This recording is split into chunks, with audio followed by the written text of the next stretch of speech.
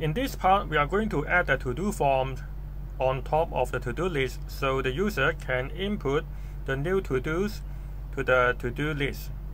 So we go back to the components and then we create a new component called to-do form.js and then like before we type RAFCE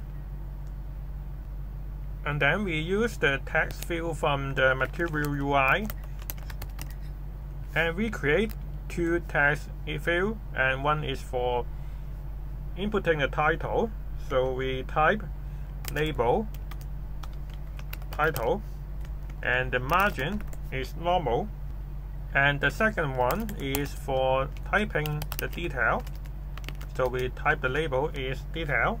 And since it is for longer sentence so we use multi-line and we set the max rows to be 4 and then both of these we use full width. So we click on this and type full width. And then at last we have to add the button for submitting the to do so we paste button.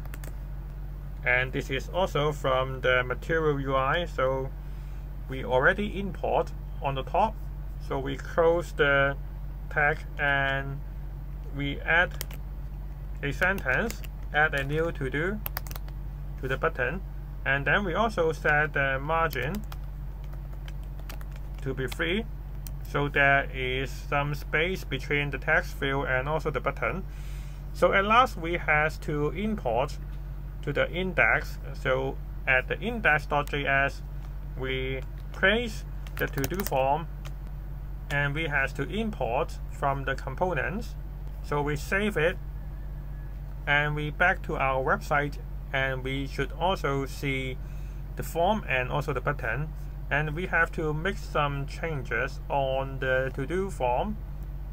And we have to add the variant is equal to contain. So this is filled with blue colors so this is how to create a form and we are going to add the function to add a new to do.